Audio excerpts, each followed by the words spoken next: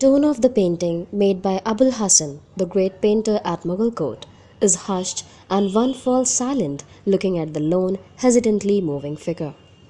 The man, an old pilgrim, perhaps, or possibly a mendicant, who has seen better days, stands barefoot, leaning on a thin long staff. The body bears marks of the ravages of time the hunched back, the stooped shoulder, the snow white beard, the lean, desiccated frame. But one can see from the look in his eyes that the mind is still keen and the bent of mind religious.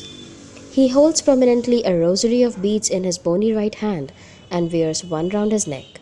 There are signs of indigence everywhere. Poets have spoken much about old age.